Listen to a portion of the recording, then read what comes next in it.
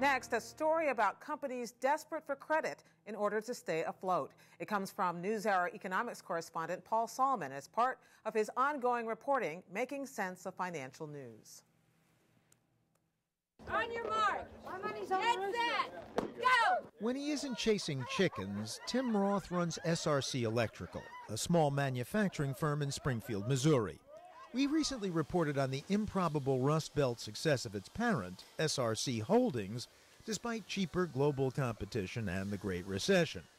But while SRC Electrical's customers are buying again, the company and others in Springfield are hard pressed to grow, to add jobs, to help fuel the long awaited recovery, because of too little credit.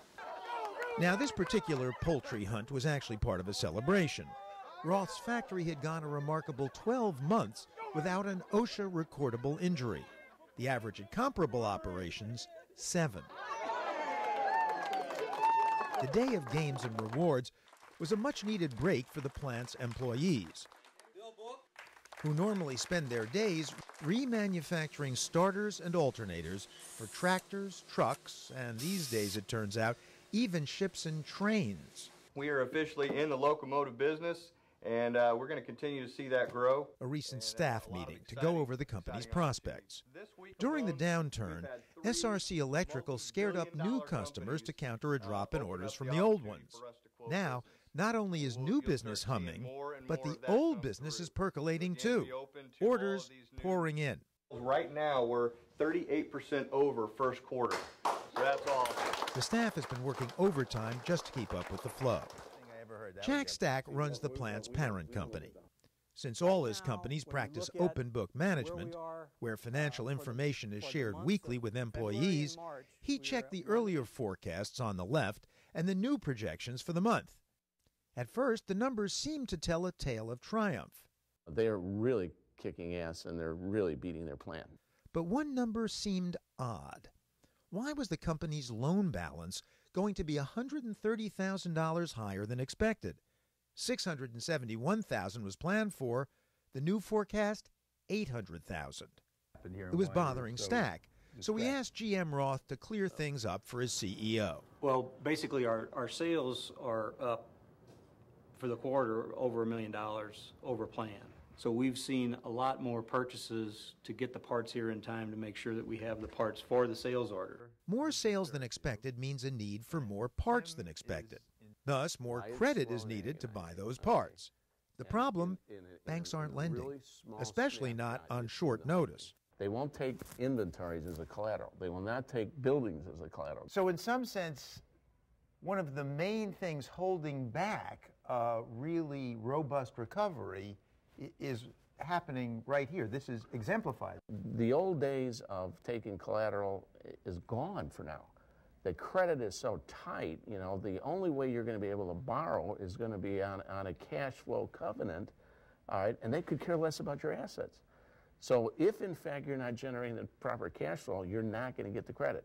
Turns out SRC Electrical maxed out its line of credit at the bank. The company's orders were up so much it had used all its money to buy more parts. Roth was in danger of not making payroll. Since the company had no cash to use as collateral for a new bank loan, the way things work these days, the company had to borrow directly from its SRC parent. But without that help, things at SRC Electrical could have come, well, unscrewed. We would have been in a position where we couldn't supply our customers. If you don't have the cash to supply them with the product, they'll find another supplier.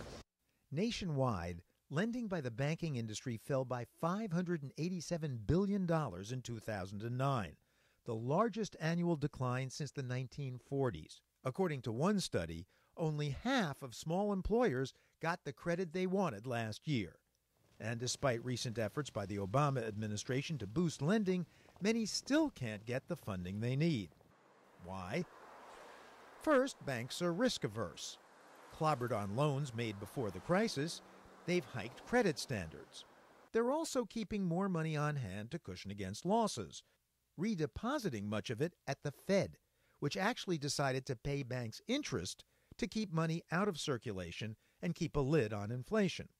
But as a result, banks have less money left over to lend thus hampering the recovery. Back in Springfield, the folks at SRC Logistics collect overstocked parts from firms and try to create businesses out of them. But turning new ideas into new companies depends on new credit, which just isn't available, says the CEO's son, Tim Stack. I don't think you can walk into a bank and get any type of money for an idea anymore. You've got to be able to cash flow it within a, a very, very short amount of time and show them a return on it. Otherwise, it's going to be tough. And other businesses we visited in Springfield were feeling the credit crunch too, like this local massage training school owned by Juliet Mee. The biggest problem that we've got right now is our growth ate our cash. And getting cash these days is not easy.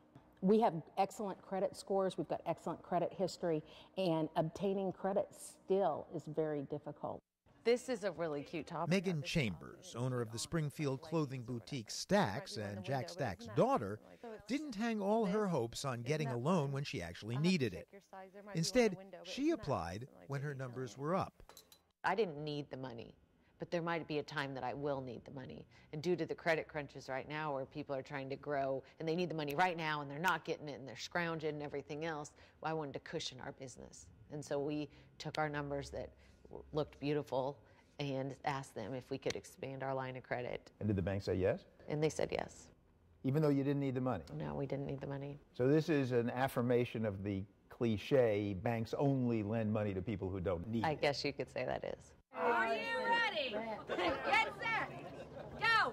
You could also say, at least in Springfield, Missouri these days, that banks might still be too chicken to lend, putting credit out of reach of many a small business, no matter how earnest its efforts.